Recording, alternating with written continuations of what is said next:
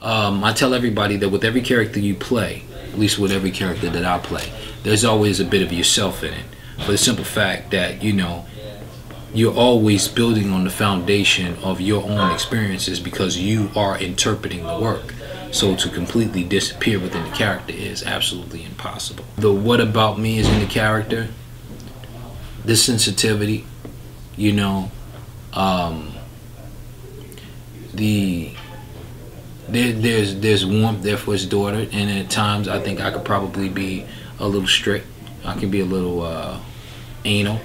I don't think the the humor gets to come out, but uh, but yeah.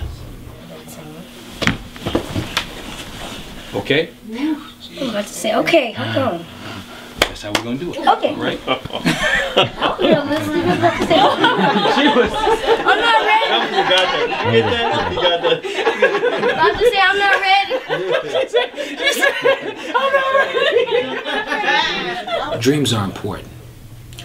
Um, I think we create our realities based on our our thoughts, our words, and our actions. And dreams are the vision before it happens.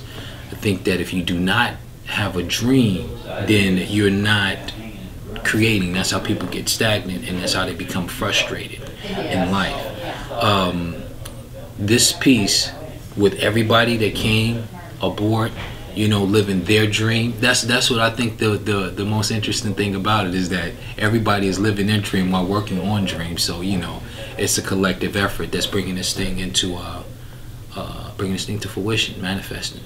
You know, so that's what I say. It was uh, it was a wonderful experience, and I look forward to seeing the end result, just like you guys are.